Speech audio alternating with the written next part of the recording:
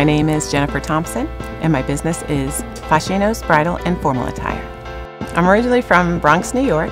Went to college for fashion design.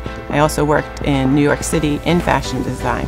Even if you've worked in the business, you don't know everything about the business because when you get into the business, there's a whole lot of challenges. And the first thing is the actual running of the business. You have to wear a lot of hats. So you have to know the marketing, you have to be a seller, you have to be the person who hires people. There's so many different things that you have to know and do, and I don't think people know that in the very beginning. Yeah, I think that's another thing you think. You think you're going to be the boss, and then you think, oh, I'm going to just be able to tell people to do, and then I'm going to be able to go out and no. You're working more than you've ever worked.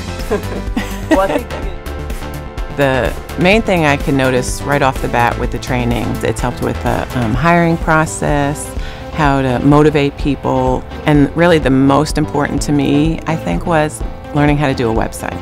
Learning how to put a website together, learning how to optimize the website, learning how to blog, learning social media. Because we had an old school website, and I think we got maybe 50 hits a month. And then once we improved our website, our optimization, we started getting more calls and more calls. And I mean, I think our highest number so far has been up in 3,000s. And I think that gets more phone calls, more people walking in the door, obviously more customers to us that we can speak with and, you know, sell our product.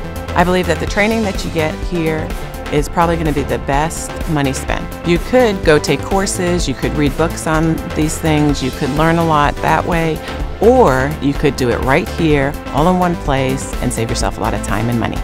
So you don't know anything in the beginning when you start a business, and you really need to know as much as you possibly can to make your business thrive. Boom. Hey, how is that? That's I great. You just tied it in right there at the end.